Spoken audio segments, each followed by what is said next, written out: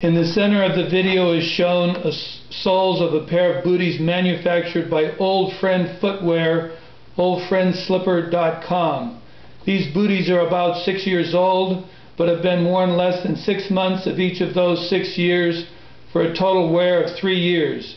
As you can see, the soles have fallen apart, indicating the poor quality of material used. I contacted Old Friend Footwear by email requesting a replacement pair of booties.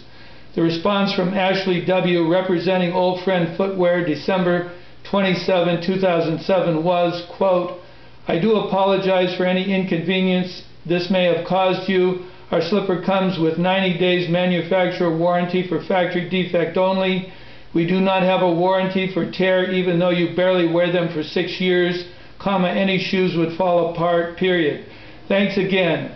We do apologize for any inconvenience, unquote. I then wrote a letter January 2, 2008 to the president of the company, Michael Darrow, requesting a replacement. I have not received an answer as of March 26, 2008. On the right and left of the old friend booties, there is a pair of slippers over 10 years old with an intact sole.